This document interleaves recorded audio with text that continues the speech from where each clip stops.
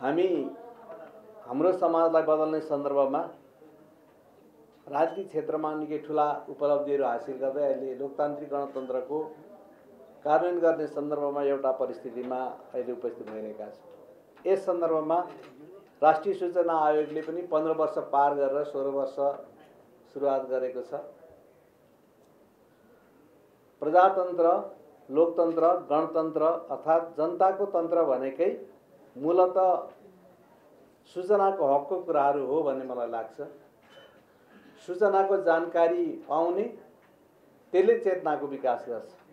चेतनाको विकास भएपछि मात्रै कुनै पनि कुराहरू ठिक ढङ्गबाट भएको छ कि छैन भन्ने थाहा पाइन्छ र ठिक गर्नलाई के गर्नुपर्छ भन्ने कुराहरू अभिव्यक्ति हुन्छ। तिनै उद्देश्य परिपूर्ति गर्ने सन्दर्भमा विश्वव्यापी रूपमै सयभन्दा बढी मुलुकहरूले सूचनाको हकलाई स्थापित गर्ने विभिन्न तरिकाहरू अप्नाएका छन्।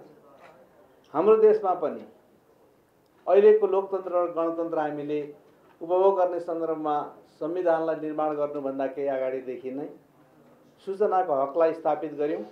यसलाई मौलिक हकको रूपबाट एउटा महत्त्वपूर्ण मौलिक हकको रूपबाट राख्यौँ र त्यसलाई कार्यान्वयन गर्ने सन्दर्भमा राष्ट्रिय सूचना आयोगको गठन गऱ्यौँ र त्यसले पनि आफ्नो कामहरू निरन्तर गर्दै आइरहेको सन्दर्भमा केही चर्चाहरू भइसकेका छन्। यसको महत्त्वलाई आत्मसात गर्ने कुराहरूको अझै पनि केही अभाव रहेको छ। सूचनाको हकलाई स्थापित गर्नलाई राष्ट्रिय महासङ्घको माध्यमबाट पनि धेरै कामहरू गरिरहनु भएको छ र सार्वजनिक स्थलमा अथवा सार्वजनिक संस्थानहरूले सार्वजनिक संस्थाहरूले कामहरू गर्दाखेरि त्यसलाई नियमित ढङ्गबाट सार्वजनिकीकरण गर्नुपर्ने कुराहरूको व्यवस्था भए पनि त्यो हुन सकिरहेको छैन। र गरिएको सार्वजनिक कुराहरूको आम सरोकारको विषय भएर बुझ्ने र त्यसमा आफ्नो हक स्थापित गर्ने कुराहरूको अभाव रहेको छ। एउटा उदाहरणको लागि मात्रै भन्यो भने कुनै सानो आयोजना सुरुवात भयो भने त्यो कसले बनाएको लागत कति हो कसको अनुदानमा बनाएको हो र त्यो कहिलेसम्म निर्माण गरिसक्नुपर्ने हो र न्यूनतम पनि त्यसको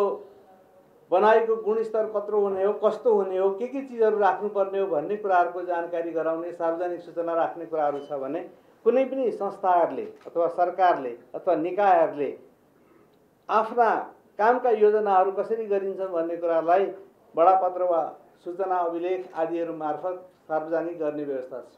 त्यसको जानकारीको आधारबाट आफ्नो सेवाग्राहीहरूले सेवा लिने जनताले सूचित हुने र त्यसलाई समयमा प्रभावकारी ढङ्गबाट गुणस्तरीय ढङ्गबाट सम्पन्न गर्ने कामको दायित्व हामी नागरिकहरूलाई छ।